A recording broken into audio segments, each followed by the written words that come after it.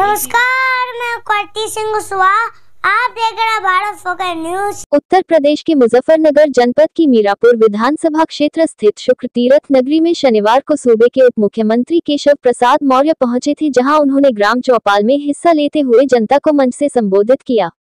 इस दौरान deputy CM Keshav Prasad Maurya ने मंच से बोलते हुए सपा और कांग्रेस पर जमकर निशाना साधा। उन्होंने कहा कि विपक्ष की कुर्सी पर राहुल गांधी गैर जिम्मेदार नेता बैठे हुए हैं, वह प्रधानमंत्री जी को गली नहीं देते, वह देश की 140 करोड़ जनता को गाली देने का काम करते हैं।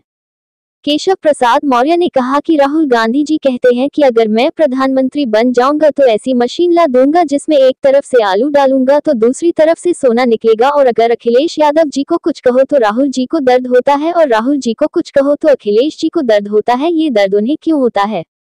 डिप्टी सीएम केशव प्रसाद मौर्य ने समाजवादी पार्टी को आड़े हाथों लेते हुए कहा कि समाजवादी पार्टी और कांग्रेस पार्टी के गठबंधन से लोगों का विश्वास समाप्त हो गया है और सपा को लोग समाप्तवादी पार्टी बनाना चाहते हैं और कभी कभी बिल्ली के भाग में भी चिका टूट जाता है। उन्होंने झूठ बोल करके लोगों को गुमराह करके जो वोट प्राप्त की है उस पर वह खड़े नहीं उतरे हैं। जनता उनकी असलियत समझ गई है। इस बार सपा हो या कांग्रेस हो, उन सबको सबक सिखाने के लिए लोग तैयार है।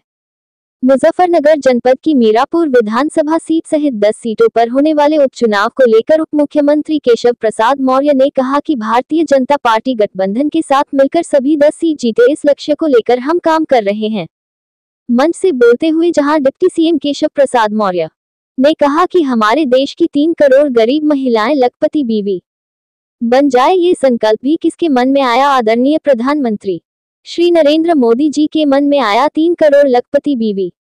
जब हमारे देश में बन जाएँगे तो आप समझ सकते हैं हमारा। देश किस मजबूती के साथ विकास के पथ पर आगे बढ़ेगा परिवार। आगे बढ़ेगा अभी में यहाँ बहुत सारी लाभप्रद योजनाएँ हैं। सरकार की उसकी बहनों को और किसानों को समर्पित करने का काम करेंगे लेकिन आप ये सारा अवलोकन करेंगे तो आपको ध्यान में आएगा कि यह भारतीय जनता पार्टी है जो सबका साथ सबका विकास है, भारतीय जनता पार्टी है तो भारतीय जनता पार्टी के ऊपर भविष्य है, हमारे नौजवान हो चाहे किसान हो, चाहे माताएँ, बहनें हो, हम, मैं सबके लिए कहता, आज हमारे डबल इंजन की सरकार लगातार एक से एक बड़े काम कर रही है और आगे भी करेंगे, हमें पूरे विश्वास से ये तीर्थ स्थल है, यहाँ से कह सकता हूँ की मीरापुर की जो विधानसभा है, भारतीय जनता पार्टी गठबंधन, ये सीट आप सबकी कृपा और आशीर्वाद से जीतेगा, देश के अंदर एक संदेश देने का काम करेगा की दो हज़ार सत्ताईस में फिर से भारतीय जनता पार्टी की सरकार बनाने का रास्ता साफ़ होगा। भाइयों, बहनों, ये जो विपक्ष में बैठे लोग हैं, उनके रोज। एक नए कैसे बयां आएँगे, जिनको पद सुन करके आपको भी आश्चर्य। लगेगा कांग्रेस के नेता है श्री राहुल गांधी माननीय प्रधानमंत्री। जी के बारे में जिन शब्दों का वो प्रयोग करते हैं, वह। शब्द क्या बर्दाश्त करने योग्य है, क्या हाथ उठा करके बताओ योग्य है क्या वह सबसे पुरानी पार्टी अपने आप को? कहते हैं उसके नेता श्री राहुल गांधी जी विपक्ष के नेता। है इतने गैर जिम्मेदार नेता शायद विपक्ष के भारत के इतिहास। में कुर्सी पर बैठा हो, वह प्रधानमंत्री जी को गाली नहीं देते। देश की 140 करोड़ जनता को गाली देने का काम करते हैं और इसका हिसाब तब होगा वोट की मशीन ज़्यादा देर नहीं। चलती 2024 के लोकसभा चुनाव में लोगों से कहा, संविधान खत्म कर दे। हम संविधान के रक्षक हैं, संविधान के पुजारी हैं। बाबा भीमराव अंबेडकर के अनुयायी हैं। हम संविधान खत्म नहीं कर सकते, लेकिन जो संविधान को खत्म करने के अनुयायी है उनके मंसूबा पूरे नहीं होने देंगे उन्होंने कहा। आरक्षण खत्म कर देंगे हमारे मोदी जी ने कहा आरक्षण हमारे। रहते मोदी जी के ज़िंदा रहते कोई माई का लाल खत्म नहीं। कर सकता लेकिन दुष्प्रचार करने वाले ऐसा दुष्प्रचार किया। और गुमराह करने का, का काम किया और हमारे मतदाताओं को भ्रमित करने में वह कामयाब हो गए लेकिन मैं धन्यवाद बोलता हूँ। देश और प्रदेश की जनता को उनकी तमाम साजिश के बाद माननीय मोदी जी के नेतृत्व हमारी सरकार बनी उनके बयानों की अगर चर्चा करूँ राहुल गांधी जी तो यहाँ तक कहते हैं कि मैं एक ऐसी मशीन ला दूँगा अगर प्रधानमंत्री बन जाऊँगा। एक तरफ़ से आलू डालूँगा, दूसरी तरफ़ से क्या निकलेगा सोना? निकलेगा अखिलेश यादव जी क्या कहते हैं? हालाँकि अखिलेश यादव जी तो उनके साथ ही हो गए। अखिलेश जी को कुछ कहो तो। राहुल जी को बहुत दर्द होता है और राहुल जी को कुछ कहो। तो अखिलेश जी को बहुत दर्द होता है, ये दर्द क्यों होता? है अगर उत्तर प्रदेश में कोई हमारी बहन बेटी के साथ अपराध करे, क्या उसे क्षमा करना चाहिए, क्या कोई किसी की हत्या करे, उसे माफ़ करना चाहिए, क्या कोई ज़मीन पर कब्जा करे?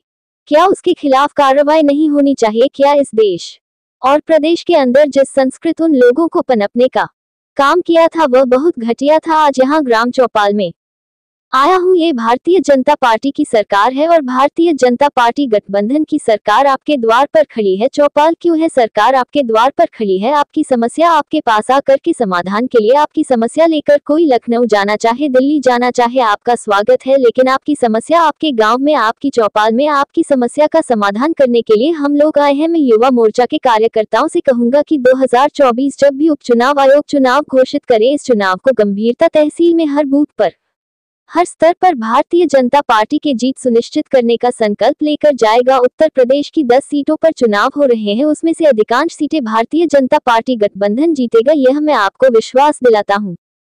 तो वही मीडिया से बात करते हुए केशव प्रसाद मौर्य ने कहा कि जो 10 विधानसभा के उपचुनाव होने वाले हैं, भारतीय जनता पार्टी बूथ से लेकर विधानसभा तक मजबूती से तैयारी कर रही है। हाँ गठबंधन के साथ मिलकर के सभी दस सीटें जीते। हैं, इस लक्ष्य को लेकर काम कर रहे हैं, वैसे भी समाजवादी। पार्टी और कांग्रेस पार्टी के गठबंधन से लोगों का विश्वास समाप्त हो गया है और सपा को ही लोग समाप्तवादी पार्टी बनाना चाहते हैं, वो कभी कभी बिल्ली के भाग से भी छीका। टूट जाता है और उनकी झूठ बोलकर के लोगों को गुमराह कर, करके जो वोट प्राप्त की है, उसे पर खरे नहीं उतरे जनता। उनकी असलियत समझ गई है, इसे सपा हो या कांग्रेस हो उनको। अब सबक सिखाने के लिए लोग तैयार हैं, देखिए आप जिम्मेदार, पत्रकार हो, नाम नहीं मैं जानता लेकिन गैंगरेप जैसी घिनौनी, घटना होती है, ऐसे आरोपियों को अगर समाजवादी पार्टी के मुखिया श्री अखिलेश यादव जी संरक्षण देने का काम करते हैं, चाहे वह अयोध्या का मामला हो, चाहे उनके संसदीय क्षेत्र का मामला हो और प्रदेश में चाहे और कहीं अन्य का मामला हो, वह तो अपराधियों के संरक्षक बन करके साबित हुए हैं और वह जाँच चल रही है, कोर्ट में मामला है, ऐसे अपराधी बच नहीं सकते। देखिए, ये तो पार्टी तय करेगी जहाँ भाजपा लड़ेगी की भाजपा जीतेगी, सहयोगी लड़ेंगे, सहयोगी जीतेंगे, मैं उसे बयान को ना देखा हूँ, ना उसे पर कोई टिप्पणी जहाँ बवाल होगा, पुलिस है, कार्रवाई करेगी। जो 10 विधानसभा के उपचुनाव होने वाले हैं भारतीय जनता पार्टी बूथ से लेकर विधानसभा तक मजबूती से तैयारी कर रही है। हम गठबंधन के साथ मिलकर के सभी 10 सीटें जीतें इस लक्ष्य को लेकर के काम कर रहे हैं। वैसे भी समाजवादी पार्टी और कांग्रेस पार्टी के गठबंधन से लोगों का विश्वास समाप्त हो गया है और सपा को ही लोग समाप्तवादी पार्टी बनाना चाहिए। लेकिन सर 24 में उन्होंने काफ़ी सीटें जीती हैं। वो कभी कभी बिल्ली के भाग से भी छीका टूट जाता है और उन झूठ की बोल करके लोगों को गुमराह करके जो वोट प्राप्त किए उस पर वो खड़े नहीं उतरे। जनता उनकी असलियत समझ गई है इसे सपा हो या कांग्रेस हो उनको अब सबक सिखाने के लिए लोग तैयार हैं। सर अयोध्या का जो सपा नेता था उसका डीएनए मैच नहीं हुआ। जो सपा का नेता था जिसका रेप कांड में नाम आया था उसका डीएनए मैच नहीं हुआ उस पर क्या कहेंगे? जिस तरह देखिए पार्टी ने मुद्दा बनाया था। जिम्मेदार पत्रकार हो नाम नहीं मैं जानता, लेकिन जब गैंगरेप जैसी घिनौनी घटना होती है और ऐसे आरोपियों को अगर समाजवादी पार्टी के मुखिया श्री अखिलेश यादव जी संरक्षण देने का काम करते हैं, चाहे वो अयोध्या का मामला हो, चाहे उनके संसदीय क्षेत्र कन्नौज का मामला हो, और चाहे प्रदेश में अन्य कहीं स्थान का मामला हो तो वो तो अपराधियों के संरक्षक बनकर के साबित हुए हैं। और वह जाँच चल रही है उस पर कोर्ट में मामला है ऐसे अपराधी बच नहीं सकते। भाजपा दस में से कितनी सीटों पर लड़ने जा रही है उपचुनाव देखिए ये तो पार्टी तय करेगी जहाँ भी भाजपा लड़ेगी भाजपा जीतेगी जहाँ भाजपा के